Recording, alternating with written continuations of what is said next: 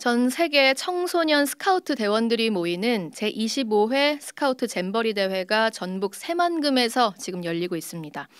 159개국 4만 2천여 명의 스카우트 대원들이 새만금 야영지에 모여 있는데요.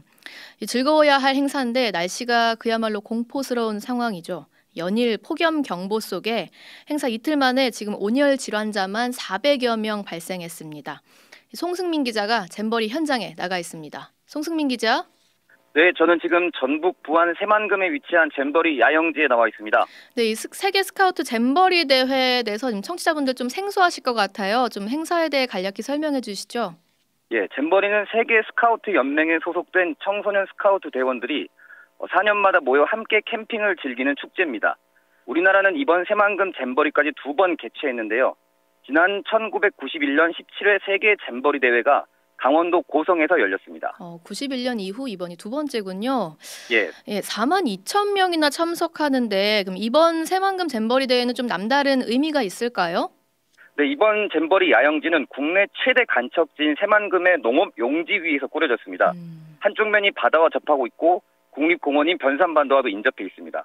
야영장은 8.8제곱킬로미터, 축구장 1,070개 면적으로 텐트 2만 2천 개가 설치됐습니다. 축구장 1,070개 면적 대단합니다. 근데 거기서 청소년 스카우트 대원들이 어떤 체험을 하게 됩니까? 예, 기본적으로 스카우트 활동이기 때문에 불피우기, 뗏목 만들기 등 생존 프로그램이 있고요. 예. 군산 고군산 군도에서 1박 2일 섬 트레킹, 부안 하섬의 생존 캠프도 있습니다. 어, 또 전주 한옥마을에서 어, 문화체험도 준비되어 있습니다. 그야말로 더위와 싸우는 생존 체험을 지금 하고 계실 것 같은데. 네, 맞습니다. 네, 아마도 지난 주말부터 이 한국에 들어온 스카우트복 입은 대원들 보신 분들도 꽤 계실 것 같습니다. 예, 말씀하신 대로 행사가 좀 의미 있게 잘 진행이 됐으면 좋겠는데요. 지금 야영을 할 만한 날씨가 아니지 않습니까? 이 폭염, 그, 예, 폭염 경보가 예. 계속되는데 현장은 좀 진짜 분위기가 어떻습니까? 잼버리 대회 시작 전부터 찜통더위, 폭염에 대한 우려가 많았습니다. 예예. 예. 오늘 잼버리 조직위 측의 브리핑에 따르면 400여 명의 온열 질환자가 발생했습니다.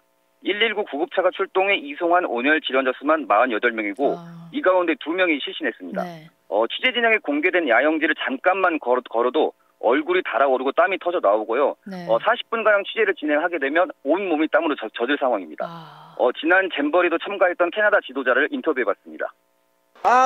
차 위에서 달걀이 완벽히 익을 정도입니다. 지난 대회 때도 이 정도는 아니었는데 대자연이 우리를 뜨겁게 만드는 걸 즐기는 것 같습니다. 진짜 덥네요. 예, 야영제 한낮 기온은 35도까지 올랐고요. 최고 체감 온도도 36도에 육박했습니다. 후텁지근한 날씨에 숨이 턱턱 막히는 상황입니다. 뭐차 위에서 계란이 익을 정도라고 하니 말을 다 했겠네요, 진짜. 근데 해가 지면 그나마 좀 괜찮습니까? 아무래도 온종일 텐트가 좀 열을 받아서 열기가 쉽게 빠지진 않을 것 같은데요. 네, 무더운 여름날 그늘막에 텐트를 쳐도 텐트 안은 찜통이 되는데요. 야영지의 텐트는 뙤약볕을 그대로 받고 농지의 습기까지 올라와서 잠을 청해 곤혹스러울 듯합니다. 예. 어, 그러나 남아프리카 가이아나에서 온 청소년 스카우트 대원은 시원하진 않지만 적당한 온도였다고 담대한 모습을 보였습니다. 우리나라가 진짜 더운데 생전 경험하기 어려운 날씨를 여기서 겪고 있어요. 그래도 밤에 잠들기는 괜찮은 온도입니다. 밤에는 좀 괜찮은데 그래도 생전 경험하기 어려운 날씨라고 남아프리카 네. 청소년도 말을 하네요. 지금 400여 명이 온열 질환 겪고 있다고 하셨는데 이 치료나 대응은 좀 잘 진행이 되고 있습니까? 우선 긴급 응급 상황을 위해서 잼버리 소방서가 들어와 있고요. 잼버리 병원과 응급 의료소 다섯 곳이 설치되어 있습니다. 그리고 조직위는 수시로 물과 음연분을 제공하고 있다고 말하고 있습니다. 네, 뭐 얼음물이나 얼음팩처럼 긴급하게 좀 더위를 식혀줄 만한 물품도 제공이 됩니까? 그 부분이 아쉬운 부분인데요. 어, 시원한 얼음물이 필요한 상황인데 그 단순히 물만 제공되고 있습니다. 잼버리 아. 참가자들은 그래서 야영지 안에 설치된 편의점에서 얼음을 직접 구매하고 있습니다. 아쉬운 부분이네요. 근데 전 세계에서 지금 4만여 명 청소년들이 참여하는 행사다 보니까 이 더위 외에도 다른 뭐 불편한 점이나 문제가 없는지도 좀 걱정이 됩니다.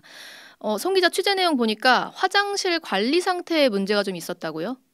네, 혹여나 하는 마음에 화장실을 들어가 봤는데요. 40년 전 관광지에서나 볼 수 있었던 모습을 목격했습니다. 두루마리 휴지와 변이 딱딱하게 굳어 있었고 물도 내려가지 않았습니다. 어. 인접한 세 개 화장실의 남자 화장실 변기 6개가 모두 같은 상태로 관리가 잘 되지 않았습니다. 어, 조직위는 보도가 나오자 조치를 취했다고 밝혔고요.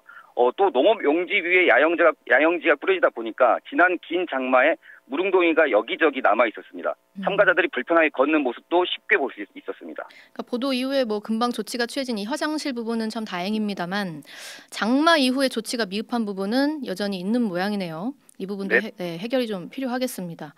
자, 본격적으로 그럼 세계 잼버리 개영식 행사는 오늘 밤 8시부터 진행이 되는 건가요?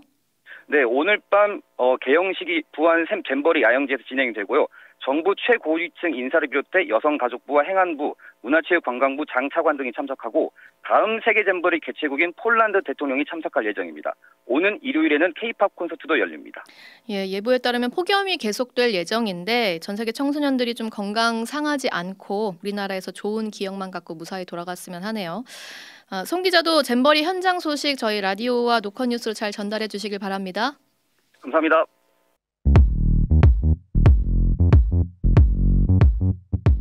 오늘 하루 뉴스 맥락 정다운의 뉴스톡이면 됩니다.